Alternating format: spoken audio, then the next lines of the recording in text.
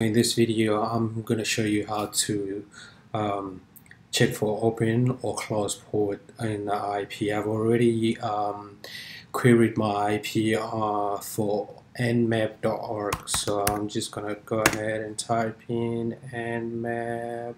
I can use the domain name actually.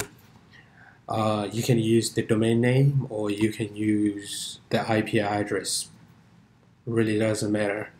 But if it's a device obviously it's gonna have an IP there we go. So we got all the ports uh, that are open. I got 443 which is HTTPS I got port 80 port 22 uh, so this is a very good stage for active reconnaissance. So it's gonna uh, show me um, what port to use. So if I want to SSH in I'm gonna SSH using port 22